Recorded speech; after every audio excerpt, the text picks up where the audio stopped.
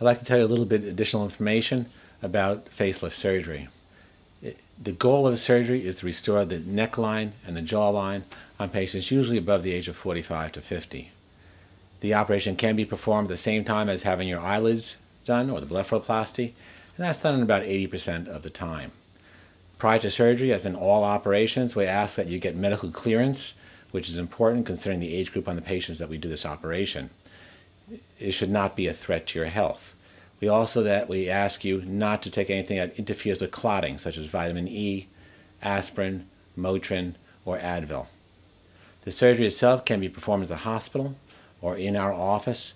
The surgery lasts anywhere from two and a half to three and a half hours and is performed under general anesthetic by a board certified anesthesiologist. It can also be performed under intravenous sedation, really depending upon the needs of the patient and the anatomy of the patient. After surgery, you return to the hospital or the hotel room with one of our nurses. They'll monitor your health, your vital signs, and your blood pressure. The important thing is to avoid having a collection of blood or what we call a hematoma underneath the skin. The following morning, I will come to your room, be it the hotel or the hospital, and remove the dressing. The results of the operation will be readily apparent. Unfortunately, the next few days, swelling will set in. And it'll take at least two to three weeks before you see all this removed and gone.